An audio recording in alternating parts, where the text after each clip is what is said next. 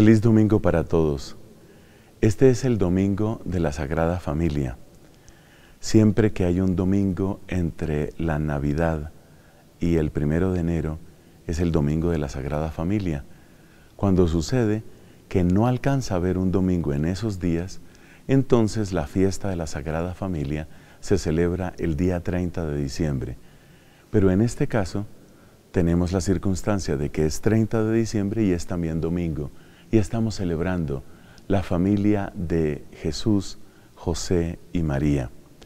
Algo interesante sucede en las lecturas de hoy. La primera fue tomada del libro eclesiástico y el Evangelio fue tomado de San Lucas.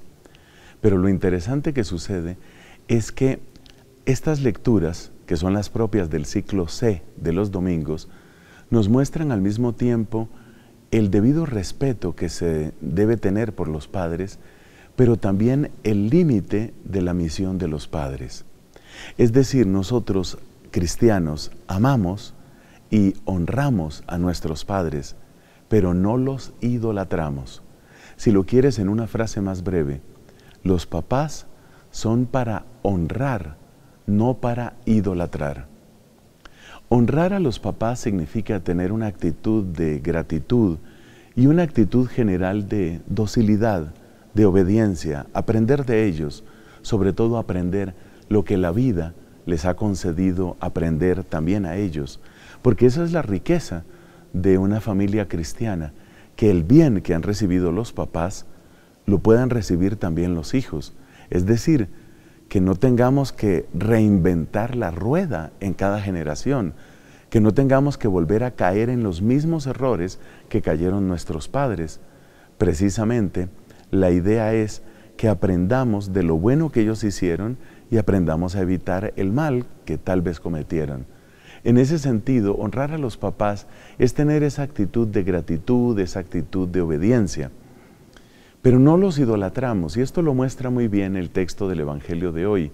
Observemos cómo nuestro Señor Jesucristo, por supuesto que está en obediencia, como termina el texto de Lucas, está en obediencia a los papás, pero también fíjate la expresión que utiliza, es debo ocuparme de las cosas de mi Padre. Es decir, por encima de la gran autoridad y de la hermosa autoridad de los papás en esta tierra, Jesús dice, debo ocuparme de las cosas de mi Padre. Esto indica que más allá del querer de los papás, más allá de los planes de los papás, están los planes de Dios.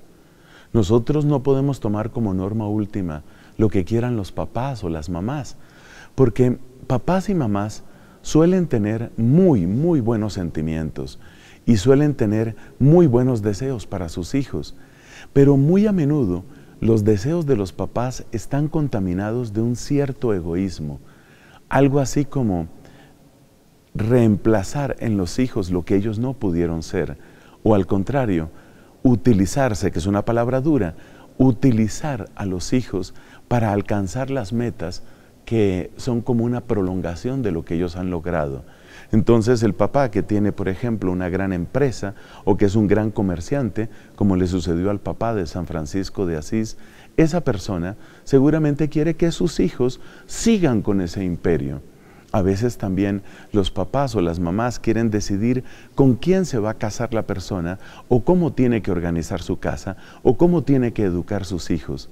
Es muy fácil cruzar líneas rojas, es muy fácil excederse, es muy fácil creer que se está prestando un servicio cuando en realidad se está imponiendo una voluntad.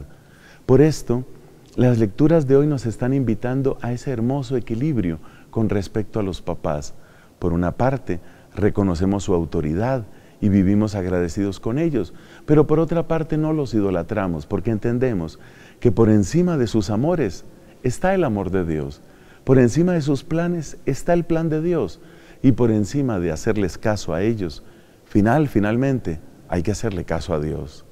De nuevo, feliz día de la Sagrada Familia para todas las familias del mundo.